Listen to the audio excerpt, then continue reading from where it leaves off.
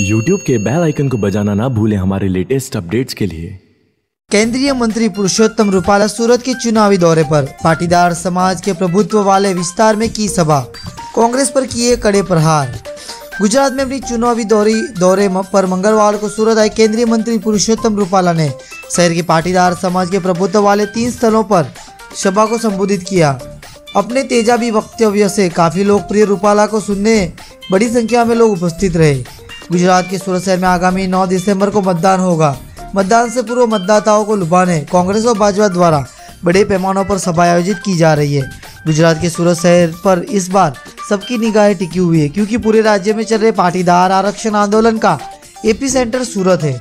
ऐसे में पिछले काफ़ी लंबे समय से पाटीदार समाज के प्रभुत्व वाले क्षेत्रों में बीजेपी को कार्यक्रम करने में विरोधी का सामना कर पड़ रहा है। ऐसे में मंगलवार को रूपाला की सभा पर सबकी निगाहें टिकी हुई है। ऐसे में उनके द्वारा पाटीदार के गढ़ माने जाने वाले वराछा क्षेत्र में आयोजित सभाओं को बड़ी अलग अंदाज में संबोधित किया गया। पुलिस एवं पर मिलिट्री फोर्स चुस्त बंदोबस्त तले सभी तीनों सभाएँ शांतिपूर्ण वातावरण में पूर्ण हुई जिससे बीजेपी एवं प्रशासन दोनों राहत की सांस ली। सभी सभाओं में रूपाला कांग्रेस पर जमकर बरसे। बहुमत सौराष्ट्र क्षेत्र में मूल सौराष्ट्र के निवासी रूपाला ने अपनी ग्रामीण शैली में सभा को संबोधित कर, कर उपस्थिति समुदाय के समक्ष बड़े ही ठोस प्रमाण के साथ बीजेपी का पक्ष रखा।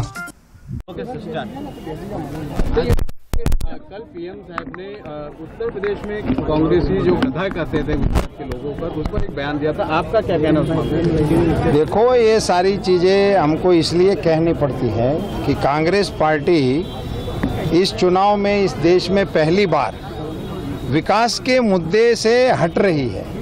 काम की बाबत से हट रही है। केंद्र की उनकी सरकार के बारे में कुछ कह नहीं सकती है। और हमारे नरेंद्र भाई मोदी जी की लोकप्रियता के सामने और कोई मुद्दा हो नहीं सकता है। तीन साल इनकी सरकार को हो गए हैं। एक भी नरेंद्र मोदी की सरकार के सामने करप्शन का कोई चार्ज नहीं है। तो चुनाव में क्या किया जाए? इसीलिए वो गाली गलौज कर रहे हैं। तो हमारा मोदी जी का ये कहना है कि इस प्रकार की बातों से मत, मतदान लोगों को नहीं करना चाहिए। लोगों को विकास के लिए ही मतदान करना चाहिए।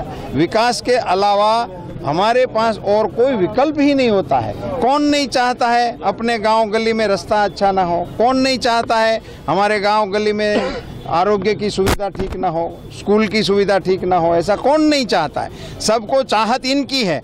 मगर ये विपक्ष की ये कम नसीबी है कि इससे हटकर वो और मुद्दों को भड़काने की कोशिश में लगे हैं। गुजरात की जनता इनको निराश करेगी लिमड़ी की सभा में आपने लोगों से अपील किया था कि 9 बजे के पहले वोट कर ले नहीं तो कुछ हो सकता है कोई घटना हो सकती है।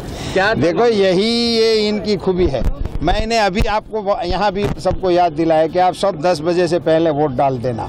इसीलिए कि वोट जल्दी से करने की कार्यकर्ताओं में जागृति आए मैंने उस सभा में ऐसा कहा था कि कार्यकर्ताओं को मैं बता रहा हूँ कि आप में मतदान में ध्यान दीजिए। अफवाह कि यहाँ गया है, वहाँ किसी के पर हमला हो गया है।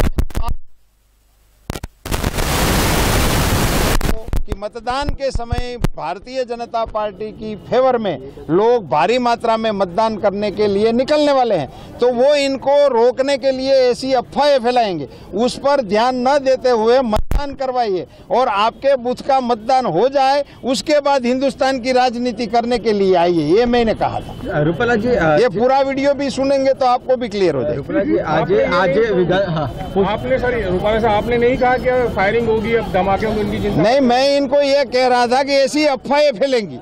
और ये होती है हर चुनाव में हमको तो पता है कि ये लोग अफवाह फैलाते हैं कि इधर हो गया है तो लोग हड़ुड़ हुट करते वहाँ चले जाते हैं। लोग इकट्ठे होकर मतदान बंद हो जाता है। तो इनको तो कुछ घुमाने का नहीं है। मतदाता तो हमारे हैं। इसीलिए इससे इस अफवाहों से बचे।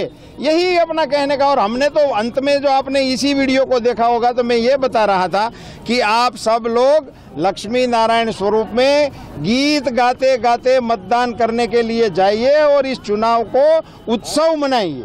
धन्यवाद। कैमरामैन मनोज कौशल के साथ भावेश त्रिवेदी की रिपोर्ट जीएनए सूरत।